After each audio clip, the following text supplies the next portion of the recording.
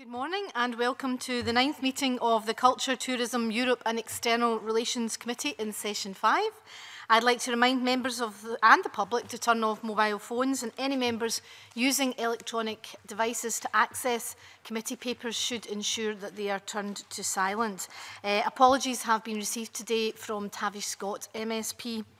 Um, our first item of business today is a decision on taking agenda item 3 in uh, in private, that's consideration of evidence heard today. Are members content with that? Yes. Um, our second item of business today is an evidence session on Screen Sector Leadership Report. And I'd like to welcome our witnesses to the meeting. John McCormack, Chair of the Screen Sector Leadership Group. Ken Hay,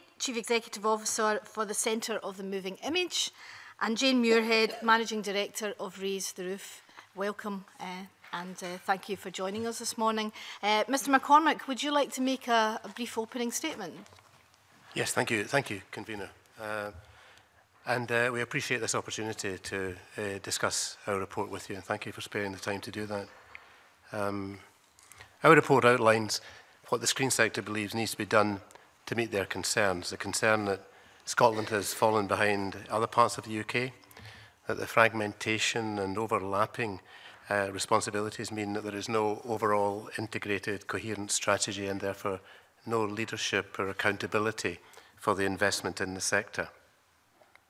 To address that, we strongly support the proposed screen unit with an expanded remit with additional responsibility for business development support needed by the small companies who operate in the screen industry but do not meet the criteria set by Scottish Enterprise and they require additional resources as we outline in the report. I have to say that the lack of visible progress since it was first mooted in May last year only reinforces the cynicism widely held across the sector, which I've been asked to represent today, and the belief that real progress will not be made uh, until there is a realistic cooperative partnership established between Creative Scotland and Scottish Enterprise, working to shared objectives. There seems a reluctance to learn from the successful model in Northern Ireland, where Northern Ireland Screen and Invest Northern Ireland work closely together. The EET report in March 2015 eh, highlighted this, uh, and sadly, there's no evidence of an improvement in the relationship during the past two years. And there's a belief, belief that only government can make this happen, and that the sector is not a priority. We believe our report presents an honest assessment of what needs to be done, and we hope it can be a catalyst and you can help us to bring some urgency to the process so that we can make real progress. Thank you.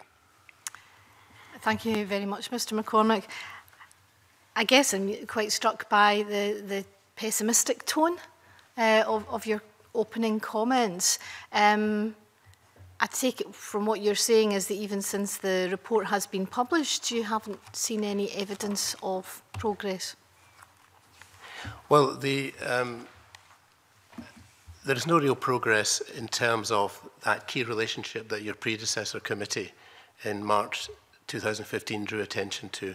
We can't now there may be things happening behind the scenes that we are totally unaware of, um, but by the time we put in our report and submitted it in January this year, there was no sign of the kind of understanding that would bring that kind of integrated relationship and shared objectives that we think is necessary.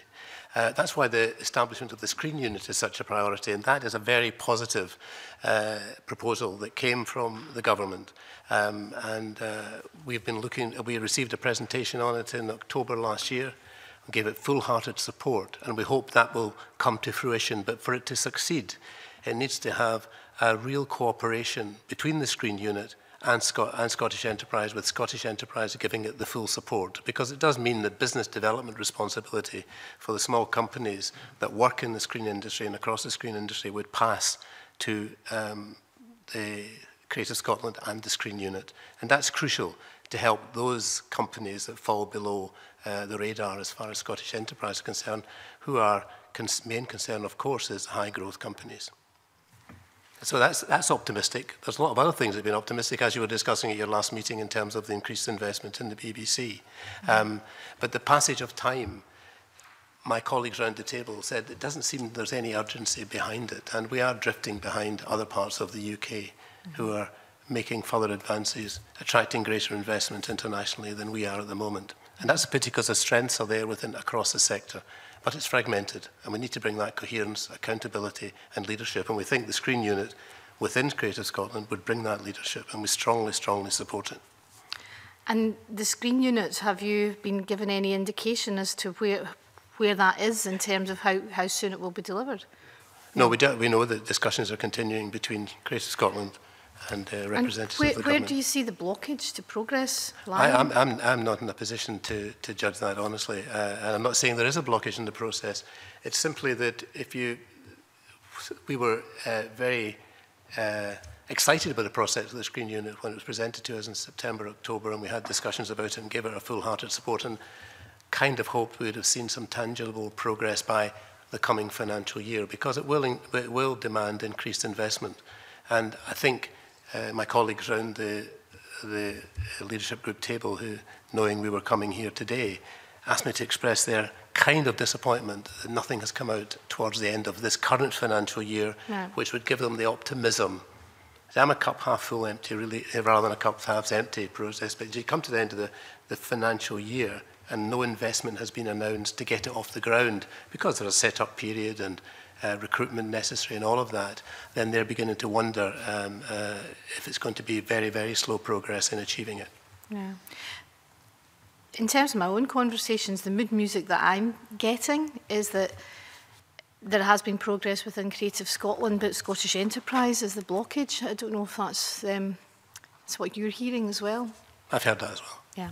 That's, that's been put much. to us.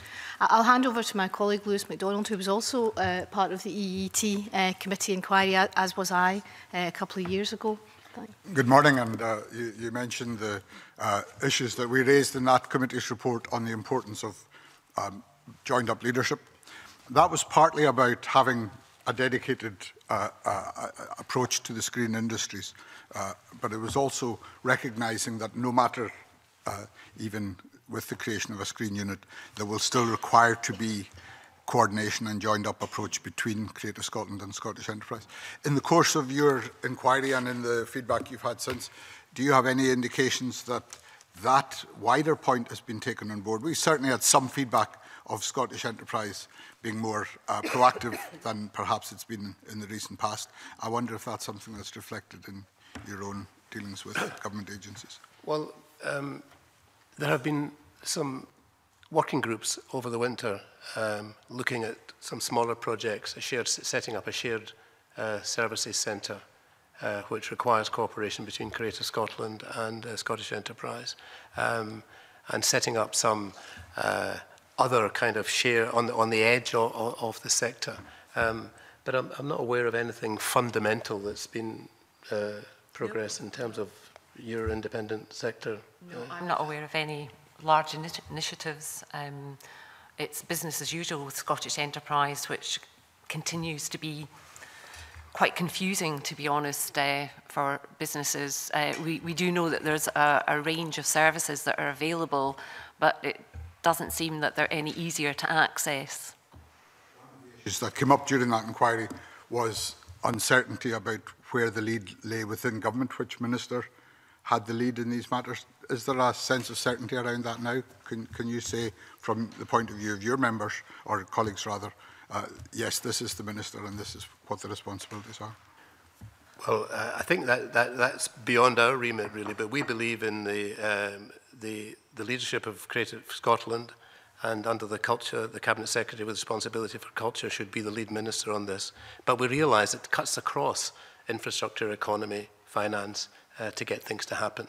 And with the current review of the enterprise agencies underway, that may be a factor in why we haven't seen, there's, uh, there's a moving picture there, and maybe that's the reason why we haven't seen progress that we might have expected to see over the last year. Um, but we would expect to see the leadership from Creative Scotland and from the Culture Secretary. The Cabinet Secretary for Culture would be the lead minister as far as we are concerned, but, but it, does, it does cut across a number of responsibilities. That's helpful because I think it does capture the point that the, the, the government seems not to be clear about what it intends the enterprise agencies to do in general, and therefore perhaps a lack of progress in this area in particular is not that surprising in that context. Can I ask about the, the, the other point that the, committee, the Economy Committee very much focused on as, as, if you like, the litmus test of progress, was the question of a film studio, or film and television studio indeed. And um, I wonder what your observations would be in light of the comments in your report, but also in the light of uh, developments over the last few months as to, as to whether the, the, that litmus test has been passed. Uh, clearly no. I, there's been an awful lot of conversations. Um, a lot of positive noises, people putting forward proposals. There's obviously the Pentland Studio proposal just outside Edinburgh, but a number of others as well have been talked about. Um, but to date, and again, two years down the line from when your, your predecessor committee reported, um,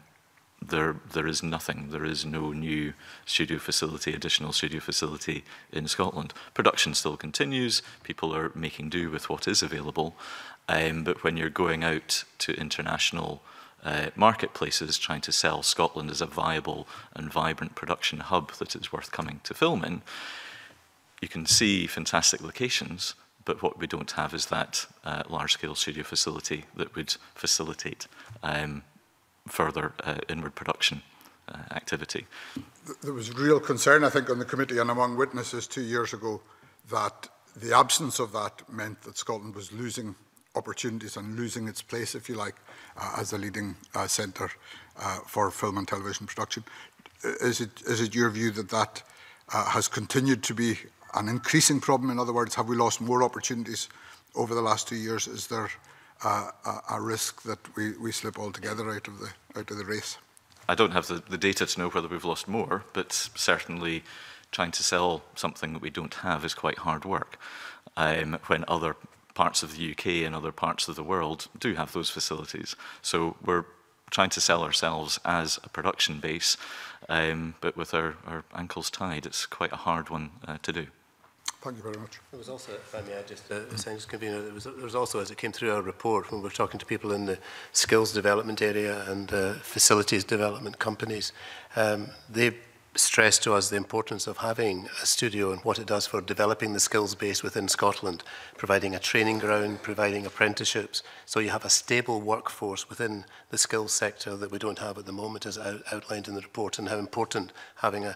fixed studio can be in developing that longer term strategy for the industry.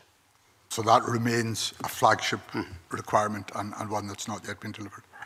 Thank you. Thank you very much, Jackson Carlo. Or we conflate all our issues at once, um, uh, because I, I too would like to talk about the skills, but I'd like to talk about the film studios. But if I could go back to the uh, the, the, the opening area of, of, of discussion. Um, You touch on Northern Ireland screen, and uh, this isn't an issue. I think the Scottish Government have made clear in the Chamber that the investment they've put into film and television every bit matches and indeed exceeds that that the Northern Ireland uh, administration has put in. Um, uh, And I noticed there is a member of Scottish Enterprise on your, uh, who, who was on your, your panel. The, the, the representation that's been made is that Scottish Enterprise just see themselves as far too big a beast uh, to actually be terribly bothered with the much lower level of discussion and integration about commissioning and taking advantage of opportunities. And even since BBC announced their studios initiative, representations were made that Northern Ireland Screen were almost on to all the independent partners immediately saying, look, how can we assist, how can we work to secure these productions for Northern Ireland, whereas here in Scotland there just has been none of the same kind of cooperation and traction. Um, so the, the mood music seems in Creative Scotland to certainly have changed. They, you know, they're prejudiced looking only at film. They now seem to see the television sector as, as, as a much greater uh, opportunity. In Northern Ireland, it's been suggested that there has been a compelling personality in place who has been able to drive that synergy through to a point where uh, the enterprise company and the creative operations have functioned together. Is that something that we should be looking at here? Is it simply that, that there, isn't a, there isn't somebody who is evangelically advocating for this as a, as, an, as a sector within Creative Scotland that could actually generate results? Uh, yeah, I think that's a, a really interesting point, what you say about an evangelical uh, person. Uh, I think the impression that the independent sector actually get from um, Scottish Enterprise just now is, is that their feeling is that TV production in Scotland is actually flatlined. And that is actually not the case at all. We, I could cite so many examples of why this isn't the case. But the other thing is that we should be really mindful of is that, again, we are sitting on the edge of massive opportunity as well. The number of hours of television that are produced in the UK and in Scotland hasn't reduced. The opportunity is still there. We now have the new channel that's been announced, um, BBC Scotland, uh, which presents further opportunity. And what we're, all we're asking for is actually the support to be ready to meet that challenge because the opportunities are absolutely there. And if that needs an evangelical person at the top who believes as passionately in our industry as we do, then that's what we need because I'm, I'm right to say that you know Creative Scotland, although it has the um, creative commitment, has a relatively small uh, budget in comparison to the opportunity that would come from a uh, Scottish enterprise. And you talk about the emerging opportunity. I mean, the report is quite BBC-centric, actually, when I look at it. Um, I mean, I, I know Channel 4 and um, uh, Scottish Television were also on, on the review team, but there's not that much mention of the uh, opportunity arising from them. But it strikes me also that the really creative uh, emerging opportunity is international digital television uh, production, which we're now seeing on Netflix and Amazon Prime and, and other internationally established channels, and where the BBC, I think, themselves see an opportunity to have a platform too. I mean, there are quite a few of the programs on those two uh, digital channels that are produced by the BBC. I, I noticed that we haven't seen here on uh, landline TV. So, given all of that, Um, is Scottish Enterprise just kind of oblivious to it? Because what seems to me to be the case is that the budgets underpinning some of that production are of international film star lev uh, film uh, production levels. they you know, they're not what you might have regarded historically as the budgets you would see for television drama. They are really, uh, you know, a million pounds an episode type things, which really do create a huge opportunity. And there seems to be a real demand for it to be cited in Scotland. I, it, it, I, I just, I mean, you obviously have had more integration with, or a discussion with Scottish enterprise th than we have in this. Is it, can it be a mood that's changed, or, or, or, or are you pushing a stone up a hill here? I... Me? You, I'll come in. I think what Scottish Enterprise actually failed to understand is that it's development that's the lifeblood of independent producers. Um, that's where we need to invest our money. We need to develop the next big idea. Having said that, when something's commissioned, nobody actually knows if it's going to be a hit or not, but we need to keep that pipeline going. Um, and the other thing is, as independent producers, we have to be robust. We have to learn how to react to the when a broadcaster says no. And I would say that of that 95% of our ideas actually just end up in the rejected pile. So the investment is actually massive. And I think that's the type of support that we would like to see from Scottish enterprise and indeed Creative Scotland. And we were hoping that that would be something that perhaps the screen unit would actually be able to help with because Scottish enterprise just don't seem to get that that's actually what feeds our businesses. It's development, it's ideas, it's people. That's what our research and development is. If I can come in on the back of that, you're asking the question about who and how. This isn't a recent issue. This conversation has been going on for at least 21 years of my life. Um, And if you go back to 1996, the report was produced under the then Conservative administration that led to the creation of Scottish Screen, which was the, the model for Northern Ireland Screen, the model for the English Regional Screen Agencies, the model for uh, UK Film Council. And Scottish Screen was obviously one of the predecessor bodies to Creative Scotland. Um, through my time working at Scottish Screen, the issue was exactly the same about how to join the dots effectively between public sector bodies with, with shared responsibilities, shared resource, shared ambitions. And it was just about impossible to do it in a sensible way. We could get individual projects off the ground, but having that shared strategy um, with a shared uh, responsibilities, uh, shared authority and shared cash was impossible to do. And one of the solutions that Creative Scotland presented as Uh, when it was created seven years ago was to resolve that because rather than having a relatively small agency in Scottish Green trying to have a battle with a large agency in the form of Scottish Enterprise, you had a much bulkier organisation having that debate. But in the seven years of Creative Scotland's existence, we seem to be in exactly the same position. So in terms of the, the leadership bit, I think it actually comes back to the top level of government to say, this is what we want. And it stops, be, stops saying, have a nice conversation, guys, and see what you can come up with, because for 20 years it's very little. Okay, and uh, just a last point on this, on this subject. Um, you opened by uh, referring to uh, initiatives that are taking place elsewhere which are potentially putting us further behind again. Could you share with the committee some of the initiatives that you feel are taking place in other parts of the UK currently which do point to Scotland potentially falling further behind in terms of the advantage that's open to us? Well, in terms of investment, um, um, BBC Wales um, and the Welsh broadcasting sector moved ahead of in Scotland because of significant investment uh, there from the BBC. And that's why we were so pleased to, and that's why we did spend so much time in the report on uh, on the BBC side because we felt that in terms of the allocation of the BBC licence fee across the UK um, that Scotland was falling behind and that was a matter for the BBC and this was a time to draw attention to it as you did uh, in terms of the, the new charter and the new governance arrangements for the BBC.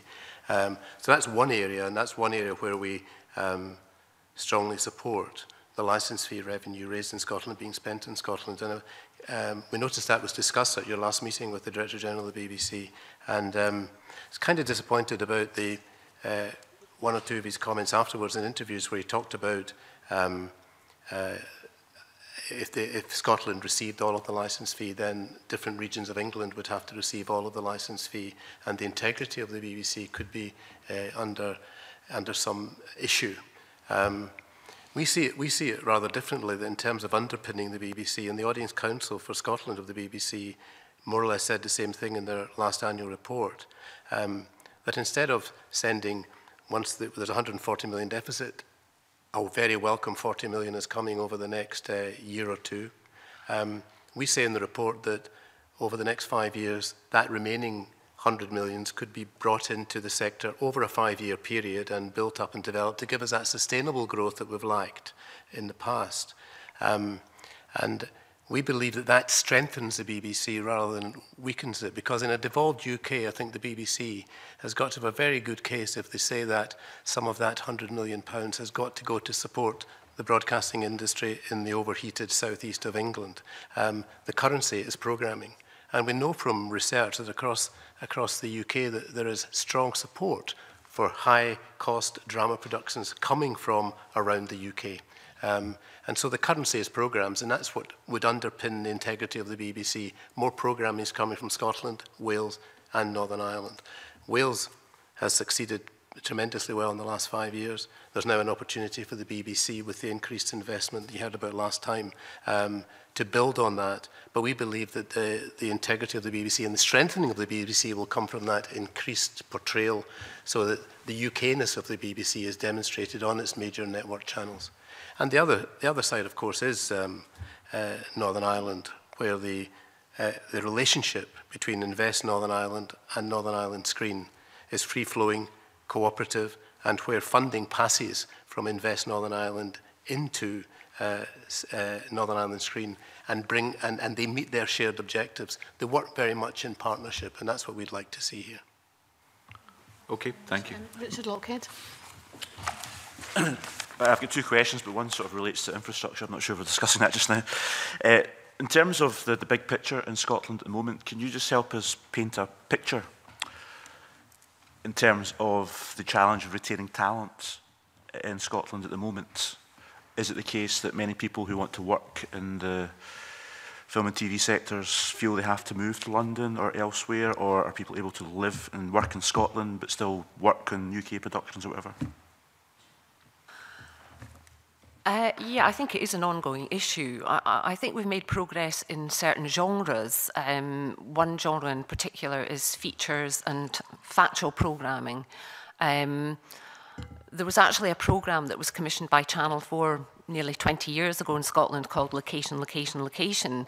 And actually on the back of that program, There have been companies that have been spawned. There has been a whole generation of people that now live and work in Scotland and work on that type of programming.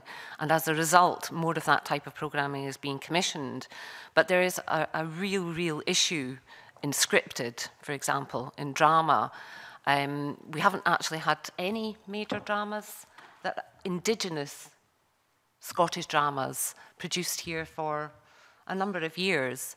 Um, we can talk about things like Shetland, for example, which is fantastic and is, and is great for the area itself and uses local crew, but it's not actually an indigenous production. It comes from ITV Studios, which is a great thing and we welcome that. But it is actually a tragedy that there is no drama that's being written and produced out of Scotland and the IP being kept here as well.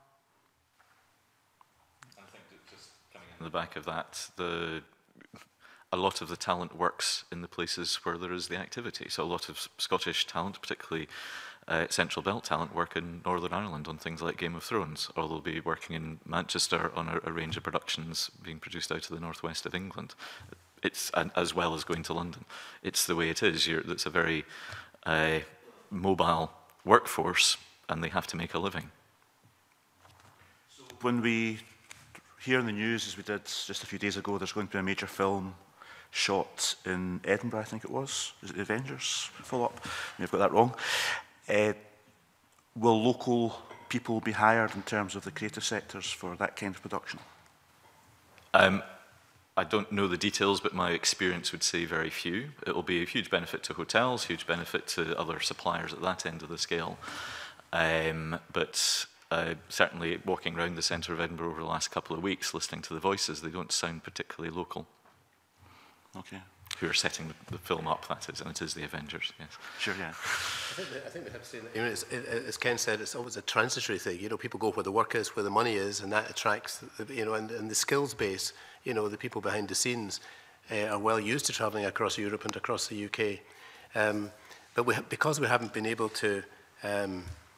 have a kind of sustained base core business that goes from year to year to provide some stability, then we, we don't have the basis of the training, the development, bringing on the next generation of people. So the transient population is, is part of the industry, but we lack the core sustained business in scripted programming and uh, filmmaking to allow us to build that up for the future.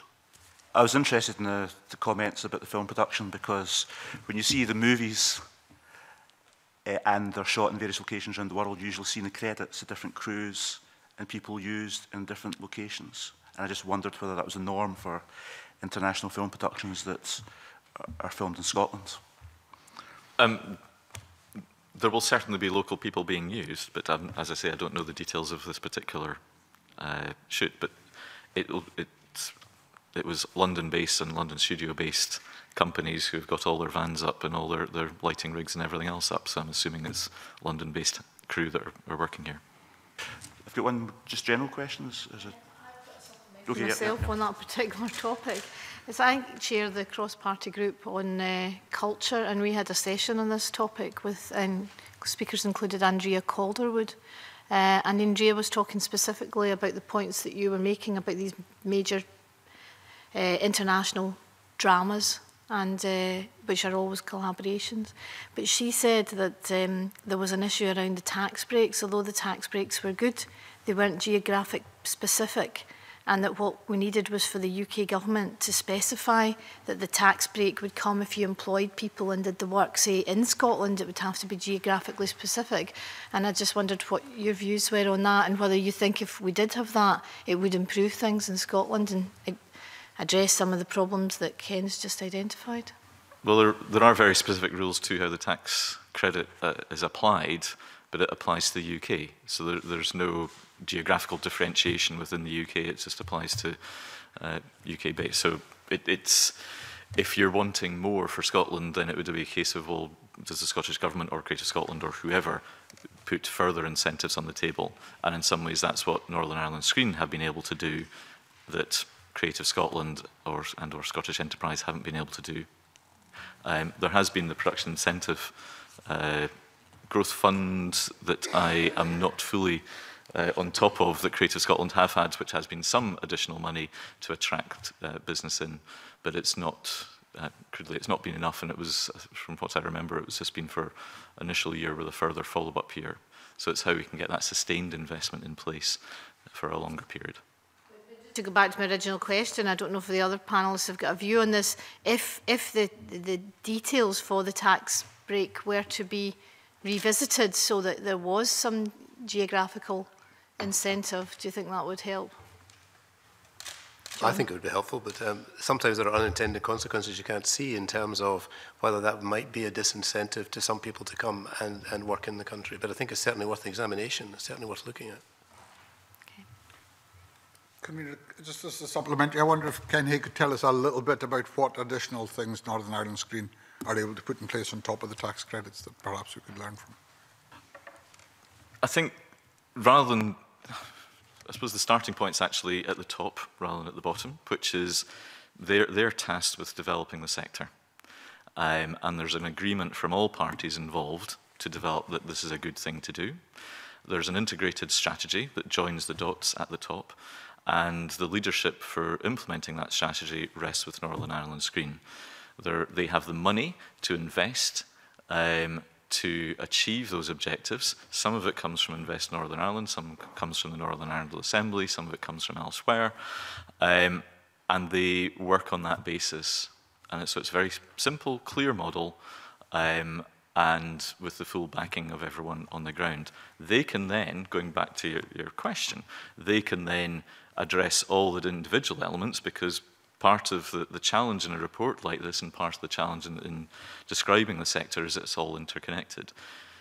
Studio is important, skills base is important, talent base is Im important, the development functions are important, inward investment is important, indigenous production is important, and it's how you tie all of those different strands together. And what Northern Ireland Screen have got is the mandate, the authority and the cash with a strategy to back it up. So it, it seems to be quite a simple, straightforward thing that for 21 years we haven't managed to achieve here.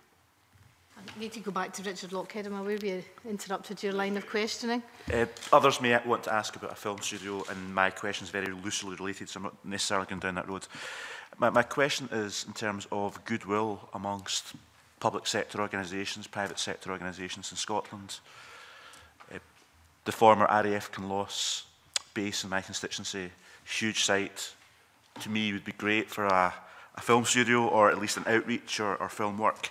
And people working in the industry agreed with that. but of course, the MOD were very, very lukewarm about that being used, even though a massive proportion of the site is unused at the moment. Uh, so it's just what is the, the, the situation across Scotland in terms of getting cooperation and goodwill? I know that local authorities are very, very welcoming in the main to, to film and TV work. Um, uses locations, but what about the wider sort of public sector organisations like the MOD and others? Uh, I have no experience of uh, the, the MOD or uh, government departments in, uh, uh, in that sector. I, you know, there's been there's a lot of entrepreneurial work goes on where people, when they have locations that are available or warehouses that come empty, are very uh, quick to make it available to the local authority and to the local screen agencies around the country to make sure it's available. I mean, I remember uh, about 25 years ago again, to the disused WDNHO Wills cigarette factory in Deniston um, to see uh, uh, the BBC set up for a drama series uh, they were rigging up. And as our BBC guys were coming in with a truck of cameras and lighting rigs, STV was leaving having derigged Taggart from that space. Um, and that's when I first thought, couldn't we have couldn't we join this up and get a studio and then it's a fixed lighting rig and you tip the cost go onto the screen rather than in the infrastructure um, so there's a lot of examples of that uh, around the country spaces the the BBC development in Dumbarton is well used and uh, a number of dramas have used that uh, studio and it's a kind of mini Hollywood with the uh, the white painted um, uh, Whiskey Bond uh, uh, there that does look and it is exploited behind the scenes and a lot of work is done there Um, but what's lacking is that kind of big soundstage studio that's a permanent fixture that people know is there so they don't have to send their people up front to locate and scout around for premises and then adapt them. And that's an increased cost. So it's a fixed resource that's needed. But certainly the local authorities are uh, entrepreneurial. The different film offices across the local authorities do a lot to make facilities known uh, to different film companies internationally and do a lot of good work. Uh, there's a, a line, a, a section in our report about uh, the data relating to uh, film investment and the return on investment. And we know what we have, the investment, the data we do have shows the return on investment is quite considerable. But we need to do some granular work over the next couple of years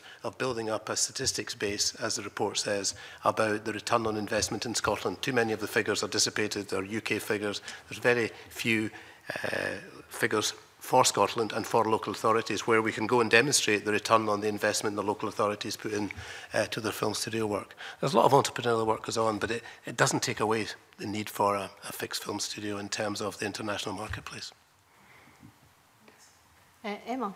Thank you, Convener. Um, good morning. Um, Jane Muirhead, you spoke about uh, development, and we've heard about crews and teams and different specialties, specialties moving around to film or whatever.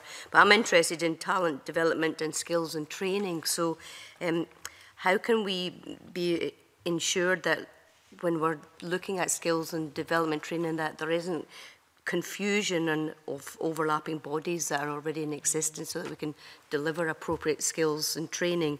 And it's also been seen that skills and training should be seen as a fundamental part of the investment overall. So So then again, once we train these people, how do we make sure we retain them in Scotland and they didn't disappear somewhere else? Well, again, keeping people, you have to have the work. That's the bottom line. Uh, you can't get away from that. Um, As as for training, uh, there is always quite a lot going on. I think one of the biggest providers in uh, Scotland is actually TRC Media, um, who do actually receive funding from Scottish Enterprise and uh, various other bodies as well. Um, a lot of training is, should actually be on the job, but again, it's the mechanisms to actually help that happen. And we, for example, as a company, have had partnerships with Channel 4, for example, where we, they have actually given us funding for uh, an executive producer that worked on daytime programs to actually work on a primetime program. And that was very, very useful because it was actually an addition, that would have been an additional budget line. It was an additional person working on the production. So things like that are actually very, very helpful because it's people at, at that level, the executive producer level, that sometimes we're in danger of losing um, from Scotland as well. So it's if we can keep people like that here who are the next generation of business owners as well, the people that will actually generate the commissions, I think that's very, very important. But again, getting that buy-in from somebody like Channel 4 or the BBC for quite a simple scheme, there was actually nothing on the table from any of the, well, for, from Scottish Enterprise, for example. Just uh, to add uh, to that, I think one of the things just to emphasise about the whole report is that it's obviously heavily weighted towards production, but it is covering the whole of the sector. Um, so it does it is talking about exhibition distribution, audience development, education uh, as well. Um, and so the skills and training part, yes, is about the production talent base, both the creative side and the technical side, but it's also about uh, developing talent for uh, exhibitors, for distributors, uh, for a wider education uh, pool. Um, And one of the things that we were able to tap into uh, last year from uh, Creative Scotland had a one-off uh, Screen Skills Fund, um, where I think there was some money from the Scottish Funding Council or uh, with backing from uh, Scottish Enterprise, but it was for one year. Um, and so a number of initiatives were set up um, that ran their life and stopped. Um, we ran one, this is as uh, CMI working with Film Hub Scotland, uh, looking at the next generation of, of talent coming through for distribution and exhibition. So people who are wanting to run cinemas, people who are wanting to, to run film festivals uh, and so on, which you might assume is more at the cultural end of the sphere, but actually in terms of turnover in the country, uh, cinema exhibition has got a higher turnover than the, the average amount of production coming into the country uh, each year. And part of it is how do we grow that? It's a potential to grow the marketplace there, but we don't have the right level of skills, and particularly entrepreneurial skills, uh, to ensure that we, we maximize that. Can I add uh, a word, convener, that we, we, as we say in the report, we again would uh, like to see the screen unit have an expanded remit which would include the leadership role for coordinating the skills development for this sector, for the screen sector. And as we say in the report, that we'd like them to be convening, uh, we, we recognise that skills must be provided by a range of bodies across Scotland. Some of the skills are specific to the culture sector, to the screen sector. Some are general to other sectors. So it does take coordination and puts a pressure on the bodies to work together. And we make that as a clear suggestion and recommendation in the report that if the Creative Scotland could have an enhanced responsibility for skills development within the sector they could then convene, do an audit of the skills sector and where the needs are and bring the different bodies together around the table under their leadership for this sector. And then they would follow the leadership of other areas for other aspects that are general to skills development rather than specific to the screen sector. But again, that enhanced role for uh, the screen unit is crucial in this area.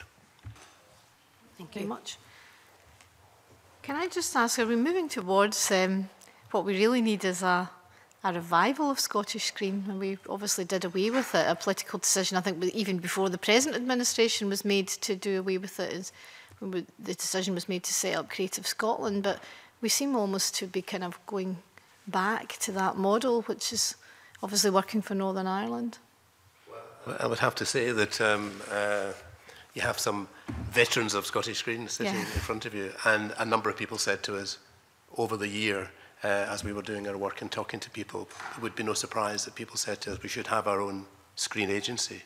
Um, we, on the other hand, took the view as a group that this proposal coming from the government for a screen unit, um, we should give that an opportunity to be fully set up, established, properly funded as part of the culture sector to see whether that can work. Yeah. If, it, if it then has to move on at a later stage, um, but the idea of then of changing uh, course at this time. We would rather see the screen unit set up, strengthened and enhanced within the cultural body Creative Scotland, and then see what happens. Yeah, and, and I suppose it could be, if, if the decision was made in the future to set up a screen agency, that could be the basis of it, I suppose. Yes, yes. Yeah. and uh, that would have a lot of support across the sector, there's it no would. doubt about it. Yeah, I've got a supplementary on that topic from Jackson Carlow, is that? separate again. Oh, it's separate. Well, I'll probably maybe come back to you. Um, Yes, that's all right. Um, Rachel Hamilton. I wanted to expand on um, Emma Harper's question about um, skills and development. And um, on the government website, it says that uh, the Scottish Government provide 1 million uh, to deliver skills and development training for the Scottish screen industry. Um, you talked a lot about overlapping. Um, what is it that um, Scottish Government currently don't provide with that level of funding that you are looking for over and above that amount of money, or does that include a lot of the overlapping that uh, you see as perhaps unnecessary?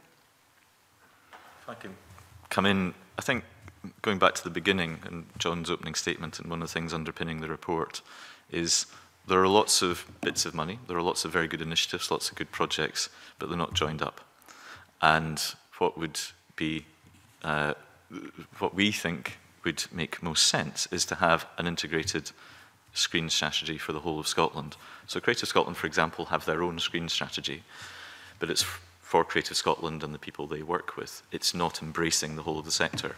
Um, and it's how can we ensure that both the public sector and public service broadcasters and the broader industry um, are all properly uh, reflected in that strategy, properly understood, and the dots can be joined. And it's then a case of going, right, how do we deliver it?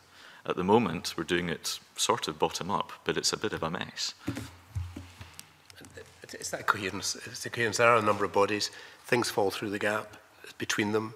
Uh, things are overlooked. The specialist needs of the sector are overlooked because Creative Scotland does not have a lead role. It does skills development almost by stealth, um, but it doesn't have the lead role and be able then to commission proper skills development uh, uh, work. Um, so it's it's too bitty, as, as Ken says. Needs to, needs to be joined up. And uh, what people are looking for uh, is quite simple, really. It's not uh, earth-shattering at all, and it runs through the report as a one-stop shop. And in the first month of uh, doing this work, a senior figure in the industry who wanted to remain anonymous said, if you had uh, a few thousand pounds to spend, the first, the first lot of money you would get, the best investment would be to provide a person and say, I'll be your screen guide to help you through the myriad of things you need to know. I'll, I'll be your route map, I'll be your sat nav. Pay someone pounds get it off the ground so people can phone, contact, email that person because they can't do it on their own. We work in the industry and we find it very difficult and we keep bumping into saying, well, that's not my job or it's not my level or it's beneath it, it's too small scale for me because you're a small company. And we get sent from pillar to post. One-stop shop, give us a key guide, give us an evangelist, as uh, said earlier, and that person could help us through the myriad. And other places that don't need that, and that, that one-stop shop could be uh, the screen unit enhanced and emboldened and funded to provide that sense can understand um, how your recommendations are looking for that clarity, um, which uh, then leads me on to um, make the observation that I'm very surprised that the Scottish Government and other bodies haven't responded to your recommendations. Did you put a time frame on uh, asking for a response? No, this is a, we saw this as a report to this committee um, why we appreciate this session this morning, um, the work was commissioned, the, the, the recommendation to set up uh, the Screen Sector Leadership Group came from your predecessor committee, as we've already discussed, um, and we saw our role as uh, to provide uh, a response to the committee and expected the committee to be our go-between uh, with government, although we've had a very positive response from the Cabinet Secretary in a meeting with her and uh, officials about the report and about the range of work that's in the report. So I'm optimistic about that. Um, my pessimism, the convener drew attention to at the beginning, was because around the sector, people have said to me, well, we hear you're at the committee tomorrow, but we haven't heard anything about the screen unit, we haven't heard anything about this, and we're really worried because the financial year's about to start and nothing's come out. I was expressing their concern about that and hoping that perhaps this meeting and your work and the, your attention to these will put the energy behind it it needs because we know as this committee has many competing priorities for its time and government has many com you know, competing priorities for its time but this is uh, this has been lying there for, for some time and after a year's work um, we would hope that the, the detail of the report could be put into the hands of uh, well, the government to do the, the macro work of knocking the heads together that needs to be, frankly, need to be knocked together, um, and the enhanced screen unit within Creative Scotland to get on with the detailed of commissioning of the different strategies for the different sectors uh, as we outlined. And that would give us um, optimism for the future. Thank you. Thank you. Stuart McMillan. Thank you, the convener. Good morning, panel. Um, I've heard a lot this morning uh, in terms of uh, the obviously, likes of leadership Uh, and direction, uh, and the issue of skills was touched upon. Uh, but certainly in Scotland over the years, I mean, there has been a, a wide range and you know, a large number of, of award-winning directors, actors, and others involved in the sector. and I can think of a, uh, a BAFTA award-winning uh, director uh, living in my own constituency. Um, and we've actually had this discussion uh, on quite a number of occasions. Uh, in terms of um, certainly what his thinking uh, is in terms of uh, the way ahead. Uh, and it's not always been about actually having one big unit. Somewhere it's been about uh, ensuring that there is, I think as you touched upon earlier on, Mr McCormick, in terms of uh, ensuring there that, that throughput uh, of commissioning and that throughput uh, of, uh, of activity taking place. Uh, but Uh, but, but notwithstanding that, um, in terms of uh, when, when, when you talk to people and with the report that you published, uh, have you ever found uh, that, like, uh, an attitudinal issue uh, regarding uh, what does take place in Scotland and in, but also in terms of the skills that Scotland actually well, currently has within the sector? I mean, has there been an attitude of, well, it, it's only Scotland, well, it, it, it's, maybe it's, it, it's too wee? that, um, that it maybe it's maybe not as important as maybe other other areas uh, in the UK. Well, for my own broadcast, I'll ask uh, Jane and Kent to comment from the different perspectives and different involvement. my own uh, experience in broadcasting, people like working in Scotland. They like working with the crews. They, they feel a kind of release and a kind of energy and a kind of openness and friendliness in Scotland that they say they don't get in the overheated southeast where people can take or leave uh, work and be fairly uh, picky about what they take. People up here relish the experience and I've had a lot of feedback over the years and from uh, producers and directors and films when I was involved in the film festival saying what a relief it is to come to this festival and meet people that you can work with uh, uh, as a team. So, uh, so it's a very it's a very positive attitude people are, and people have actually said to me over the last year uh, that it's the disappointment that they would like to come to Scotland, but they can't join up the door. They can't, they can't do the work here and they would relish it. I don't, I don't, I've never experienced uh, any barriers at all uh, to that. Have you, Jane? No. Mm. Ken? No. no. No, not at all. Are, are you talking in terms of commissioning? Uh, well, for commissioning, example? but also maybe just the, the consideration of, well, well, there might not be as much talent, uh, creative talent uh, in Scotland. So some well, those two perspectives? Again, it's that catch-22. The more work that we have here, uh, the more experienced workforce we have, therefore we get more commissions. Um,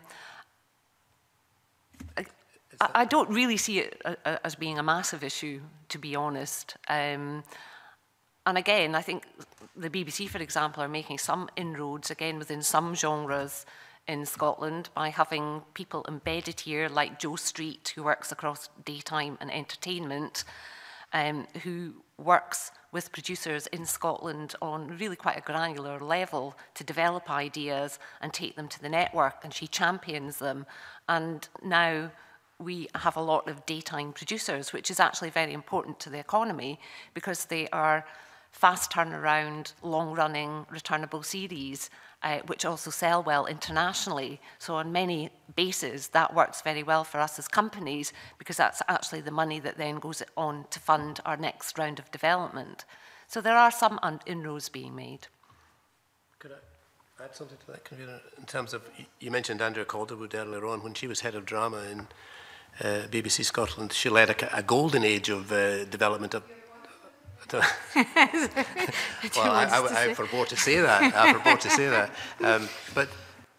the reason it works so much, and it goes back to Mr. McMillan's point, in, in terms of the reason it works so well is, and I noticed that you're, when I was reading your evidence in the last meeting, you talked about the commissioning role, in, and that commissioner for drama in Scotland is a crucial role, helps the development of scripted work, can uh, develop the skills that are then needed within the film industry, and they can work across both media.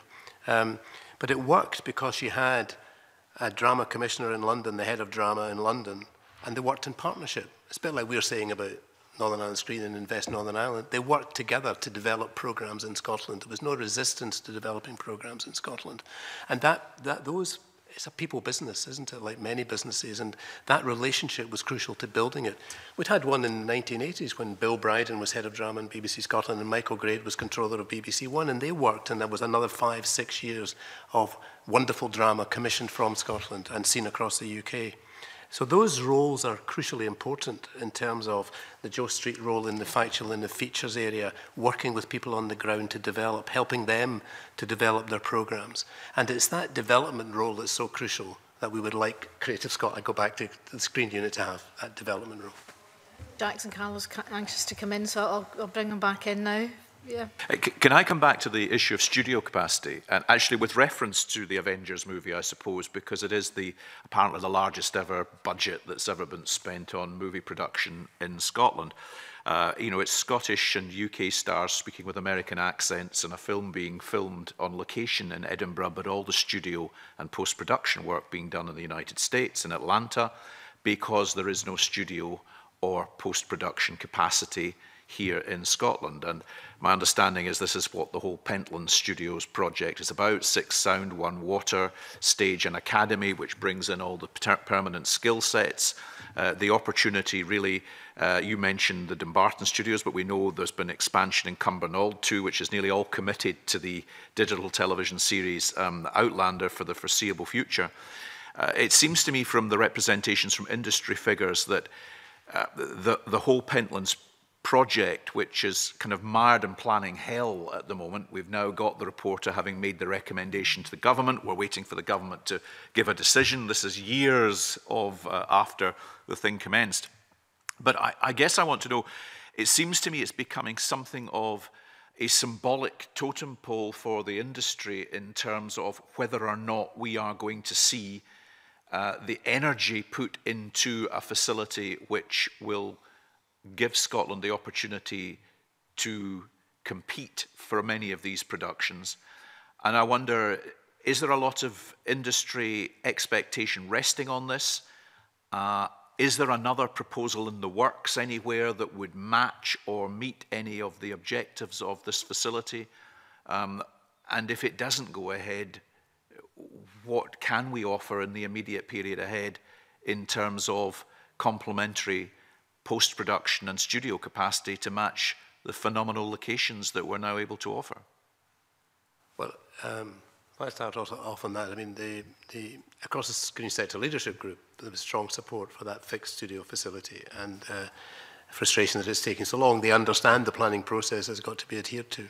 Um, but um, there would be great disappointment if uh, that didn't come to pass. And when you've got people like Gillian Berry, who's on the group, and Ian Smith, uh, talking about it and supporting it and expecting it. There is an expectation across the industry, um, but it's got to meet the planning objectives, and uh, people are just waiting for the decision. And again, it's been delayed beyond the time that they were expecting it, so they had some clarity. There are other areas that people are looking at. And Mr. Lockhead drew attention to, you know, the, the possibilities that exist uh, in different parts of the country. Uh, there's premises have being looked at in uh, Leith uh, for a there's a possibility of a studio development which is currently vacant and could be could be invested in. So I don't think all the eggs are in one basket by any means at all, any manner at all. Um, but a lot of effort, thought, scrutiny has gone into the Pentlands project, and there's expectation across the industry that that might be the beginning of the new wave of production in Scotland if that um, passes the planning strictures. And I think in terms of your assessment about it being totemic, absolutely. Um, and sort of linking Mr McMillan and your comments, it's about confidence. And what there has been an issue about is a lot of negativity about the state of the industry. The industry itself going, there's huge opportunities there if we could just get our acts together and it is a collective act. It's the industry, but working with the, the, the raft of public bodies, the broadcasters and so on. Um, and just a huge frustration that everything seems to take so long to not make very much progress. Do you have any other questions about the film studio specifically? Because it is an important area. And I know that I'm anxious to bring Stuart back in again because I think he had more questions. But if we could maybe just focus on the film studio Anyone has questions about that? Is that okay, Stuart? Because it was in planning for most of the time we sat, um, planning hell, as Mr. Carlo told it, um, I couldn't possibly say that, but uh, um, the film studio delivery group was working with that and necessarily a confidential process. And uh, we had hoped there would be, be a result by the end of the time we put in our report. So um, So it was working in parallel, they were working in parallel with us in private and confidential and with the planners to achieve it. So. Can, can I just, just ask, I mean, the, the Penton project took some time to um, reach the stage it has reached.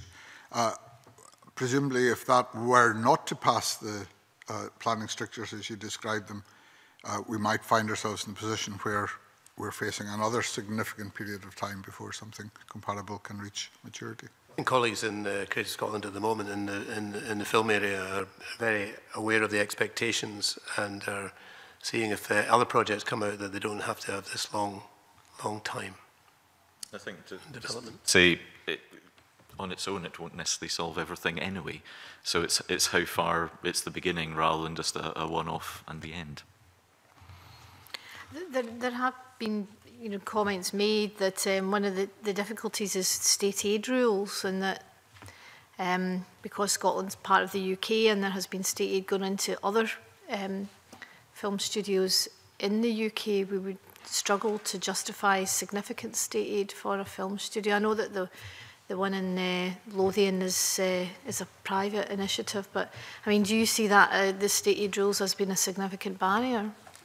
I'm, I'm advised that they are, but um, I'm not a specialist in that area. I, I couldn't add any valuable comment to the committee about that, but uh, we know that's one of the barriers that have got to be overcome and dealt with. We thought the Pentland studio um, would not fall by, with that hurdle. We didn't think it would, but um, we've been watching and observing the progress of the Pentland discussions as they go into planning rather than playing an active part in it. We just feel the studio as a part of the infrastructure is an essential development for the sector in Scotland. Stuart, oh sorry, we on, on the studio, yeah. Well, just to pick up on that theme, does that not mean that given that MOD buildings are already publicly owned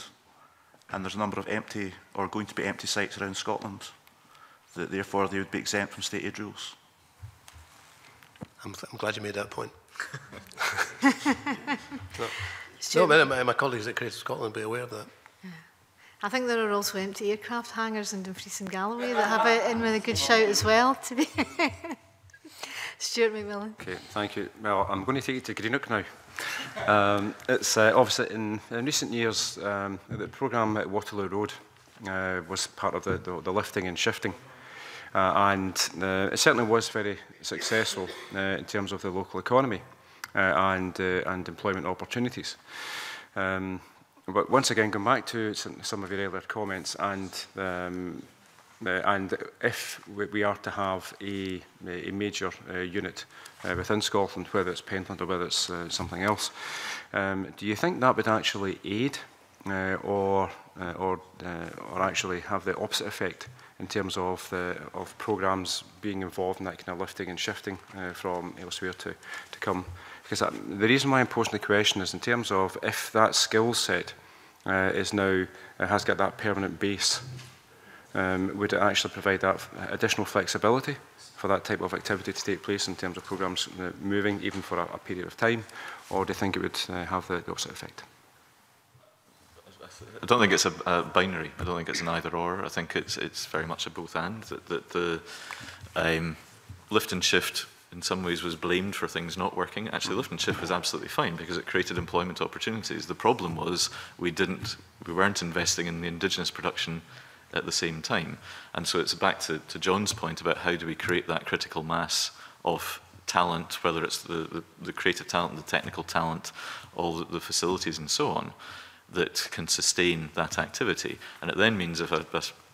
further Waterloo Road appears, that can be absorbed within the overall uh, workforce and, and uh, employment setup.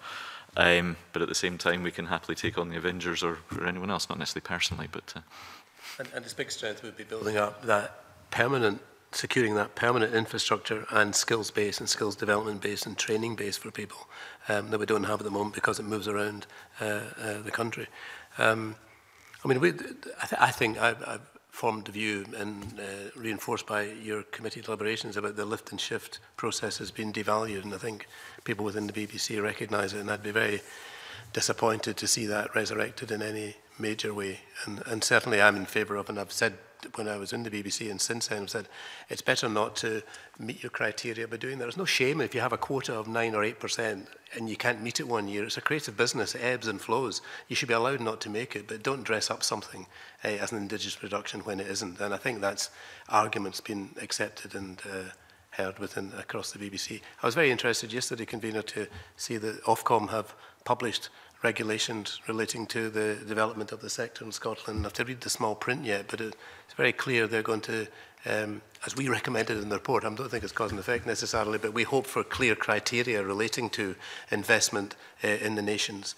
And they're established a new set of criteria for investment in the nations, which the report I read said should, in, should lead to an increased investment in Scotland. I should say it is a, it's a consultation um, and therefore both committee and, and the mm-hmm. Screen Sector Leadership Group and individual companies need to respond to that consultation over the coming weeks to say they think it's a good idea. Please. That's useful, thanks very much. Um, just on, on that particular point, and to, to go back to what you said earlier about the relationship between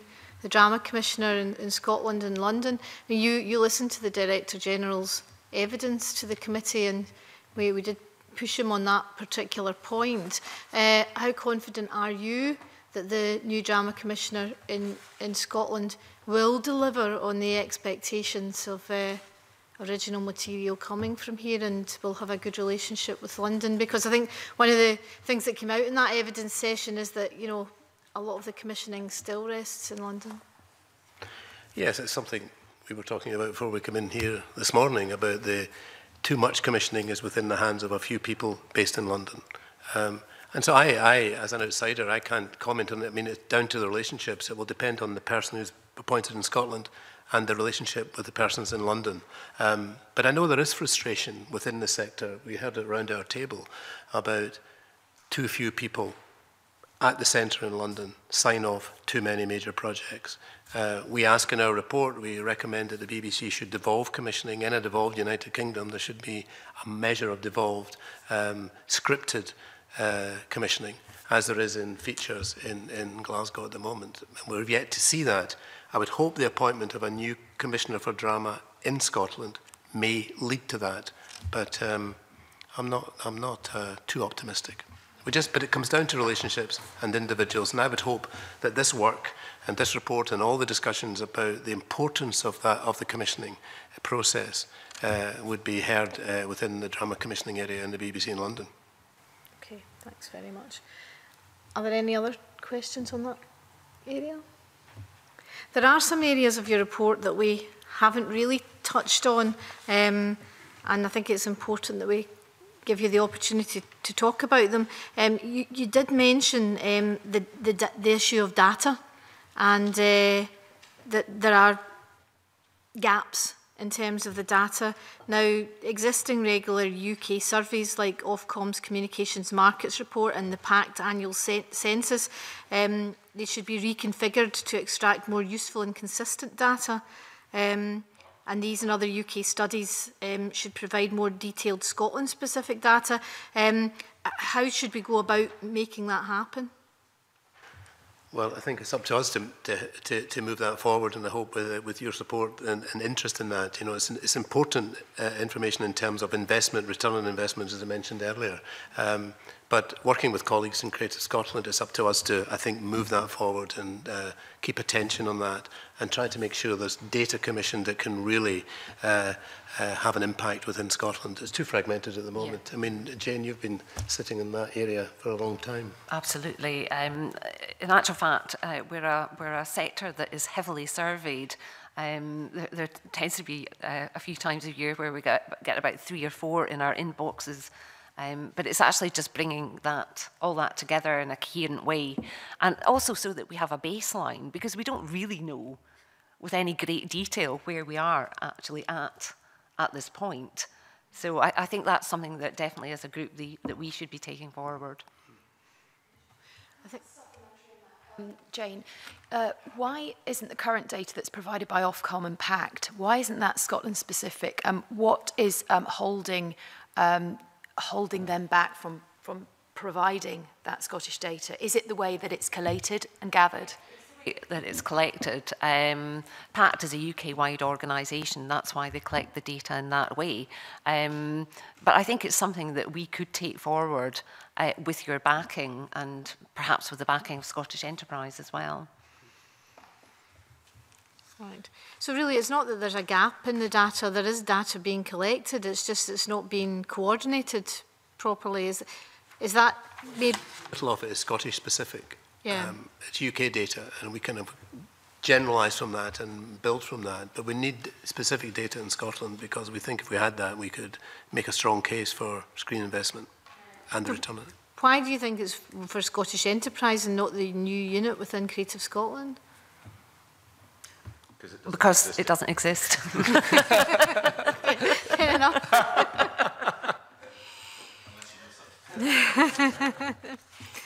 the other uh, issue that you talked about, quite an interesting issue, was the Scotland Screen Heritage. And you talked about strengthening the connections between audiences and Scotland's screen heritage. Can you perhaps say a little bit more about that and, and how you think that strengthening of connections can be achieved? Well, film is a relatively new art form and TV even newer, but it's uh, just over a century. But we've got fantastic archive collections, both within the National Library of Scotland Moving Image Archive, but a number of other collections as well. Um, and getting that out there, there have been a number of programs over a number of years that dig into that. But it's an area where you're going, how do we get the, the wider population in the country more aware of the richness of, of the, the screen heritage. It can be about film, the development of film as an art form in its own right, but it's also just about social history. It's about how Scotland has evolved as a nation over the last century. Um, and looking at where we're at now as a country and how we can uh, understand from our history um, where we might be heading, uh, I think would be uh, a good uh, thing. Um, part of the challenge is a lot of it's in formats that no one is able to screen anymore. Um, so very little of it is digitised. It may exist on film. There's very few venues left in Scotland that can continue to show film. Film House, GFT um, are, are some of the few that, that can. So if you're wanting to, to screen films, then you have to digitise them. Digitising them costs money. So one of the key things here is sort of the whole section that isn't reflected in the report is it's going to cost money to support the digitization of uh, Scotland's screen heritage. If you look at a country like Canada, the National Film Board of Canada has over the last 10 years digitized their entire collection dating back over 75 years um, and they make it available for filmmakers, for program makers, but also for audiences. So if exhibitors, distributors are wanting to get that out to uh, audiences, they can do so. Um, and my last uh, advice I was given by the, the Moving Image Archive is something like 15% of their archive is digitized. So there's a big gap between this fantastic collection and collections that we have and our ability to actually have audiences to connect with them. How much will it cost and how long will it take? Um, well, the National Film Board uh, did it over a six, seven year period. I don't have their exact figures, but their budget is, as you'd expect, significantly higher than the Moving Image Archive or indeed Creative Scotland um, have to put into that kind of work. Have you made representations to government? Um, it's uh, we in, with my old hat on, yes, um, at Scottish Screen. Um, I'm not sure what representations have been made because obviously the Moving Image Archive is now part of the National Library of Scotland. But what we would say is, with their ambitions to make that archive more accessible, we would fully back it. Okay. Thanks very much. Did any other members wish to come in? Okay. Just also mentioned the digital strategy and digital delivery, do you feel that there is a clear focus um, with, within uh, or a target uh, that we um, consider that we, we need to reach um, within your proposals as well? What we had in, in terms of the audience development and distribution section was recognising that those large parts of Scotland aren't connected to superfast broadband. Um, and there is a commitment um, through uh, Digital Scotland to get that superfast broadband rolled out as promptly as possible. But it is over a number of years, and, and as ever in these situations, the, the, the original target then has to be shifted. So what counted as superfast broadband 10 years ago would be quite slow now. Um, but if we're genuine about the whole of the country being able to access, and whether it's archive material or just being able to watch film and television on their own screens at home or on, in their local village hall, um, this is a way that would transform uh, the, the, country's ability to, to see screen content. Okay. okay. Did you want to come in on that point, Liz? Well, I, I, I think not directly on that point, but I, I, guess at a bit of a tangent, which is um, sometimes the risk of the conversations we have about providing central uh, facilities and upgrading facilities is a, a risk of centralising everything and of having uh, seeing, and, and you used the term earlier, Ken, talking about the talent that's mobile. Uh, a lot of the talent is in the Central Belt, but there's an awful lot of production talent uh, out with the Central Belt in, in, in the north and, and, and, indeed the south of the country. And I wonder um, how you envisage your recommendations in general impacting on, on those other centres of production. I'm thinking of Aberdeen particularly, but I can think of Inverness and Stornoway and other places which are existing centres of uh, production talent and production activity and how you see the, that going forward. so moving on from the, the audience aspect, from the production and, and talent pool aspect, having access to super fast broadband would be transformational.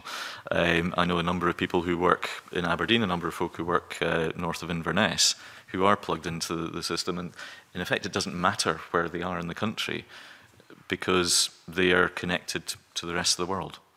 Um, but it's inconsistent how people are able to get that level of access.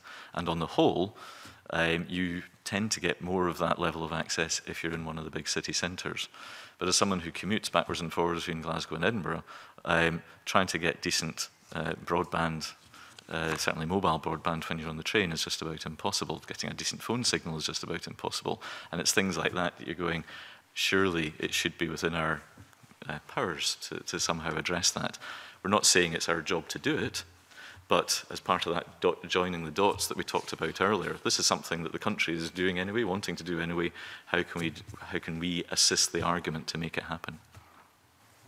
Okay, thanks very much. Uh, ju just, just to wind up, um, the committee's planning its work programme. You know, you've produced this wide-ranging report, which we're very appreciative of, and uh, um, it gives us a great deal um, to get our teeth into, so to speak. But in terms of our work programme ahead, what would you like to see us focus on? Well, we, we, our priorities in the report very clearly, we strongly support increased investment in industry. Um, and we, we, we spent a lot of time talking about this because there's, there's um, people going cap in hand don't often get a yes answer, but looking at what's across the sector internationally and across the UK, uh, eh, an increase of the investment in uh, the screen unit, in, uh, in Creative Scotland to £20 million pounds we felt was the first, the biggest priority. And without that additional public money, whether it came from other sources uh, or was new money, was essential to get the development slates off the ground and to help encourage a number of new companies in their projects. Uh, that's number one, the film studio and the infrastructure important because it also brought in some of the granular areas in terms of skills development and building up the workforce to bring stability. So the two things that we felt were infrastructure support, increased investment to help sustained economic development of the sector. That would be our priority, I think. And I suppose just underpinning it, that strategy and mandate that is currently quite confused. Con oh. Convener, can I just ask, come back to our very first point because I think it's an important one around this, the screen unit.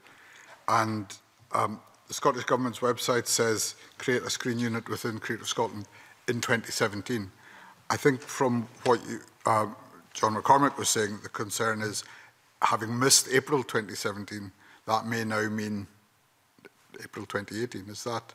Well, across the sector have been saying to me, expressing that disappointment to me in the last few days because uh, they were expecting something by the end of this month in terms of financial planning and all of that and post-budget. Um, they're expressing that disappointment, but um, um, we don't know. We don't, we don't know that it's not happening in 2017, but as time goes on, there's disappointment across the sector. There's not a sign of some white smoke saying there is progress. So, so it's fair to say that's one of the questions you would like the committee to be asking yes, the earliest yes. opportunity. Because it's a great proposal. We just, want to, we just want to see it happen and get it up and running without too much delay. And as you go from financial year to financial year and budget years, we know how that can delay, things can be delayed for a year without thinking.